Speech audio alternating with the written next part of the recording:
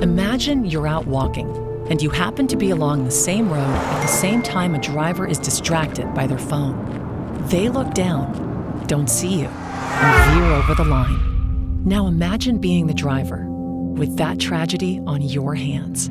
If you could go back, you would. Before you start your car, put your phone in park, notifications off, eyes up, both hands on the wheel, because we all just want to get there safely.